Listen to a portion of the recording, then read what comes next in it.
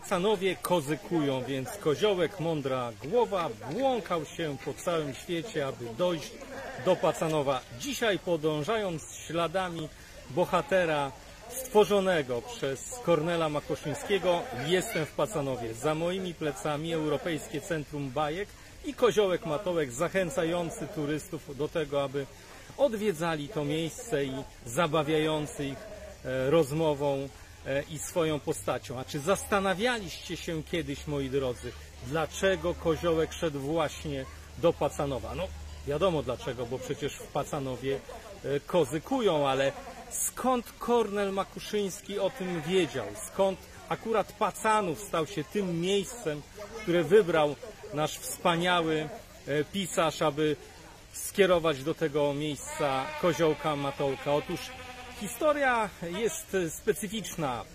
Niektóre legendy twierdzą, że e, w Pacanowie było dwóch braci Kowali, którzy mieli właśnie nazwisko e, Koza i to oni mieli być tymi, którzy spowodowali, że Kornel Makuszyński e, stworzył koziołka wędrującego do Pacanowa. Ale tak naprawdę podobno Kornel Makuszyński i zupełnie niedoceniany człowiek Marian Walentynowicz, który narysował koziołka Matołka i był prekursorem polskiego komiksu, bo przecież koziołek Matołek e, to nie tylko teksty Kornela Makuszyńskiego, ale także obrazy stworzone właśnie przez Mariana Walentynowicza, który stworzył tę sympatyczną postać. Otóż dwaj ci panowie siedzieli sobie w Krakowie w restauracji, zastanawiali się o tym, jak stworzyć tę postać, a obok siedział smutny mężczyzna. Ten mężczyzna przyznał się, że był z niewielkiej miejscowości w Górach Świętokrzyskich, Pacanów, gdzie była bieda i było smutno.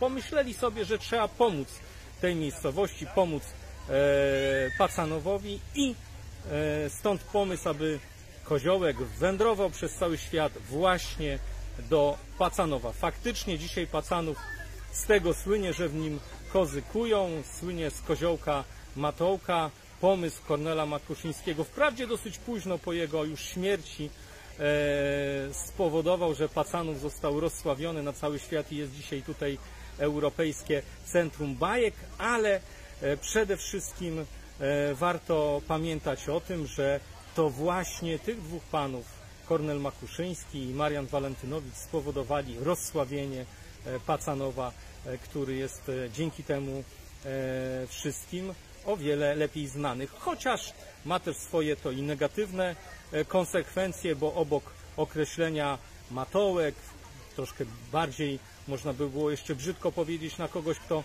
nie do końca jest roztropny. Także mawiamy o kimś takim pacan. Od Pacanowa właśnie niestety. Ale generalnie myślę, że dzisiaj mieszkańcy Pacanowa są zadowoleni z tego, że Kornel Makuszyński i Marian Walentynowicz właśnie tutaj postanowili spowodować, że koziołek będzie wędrował przez cały świat. Pozdrawiam z Pacanowa, kłania się Państwu Zbigniew Giżyński.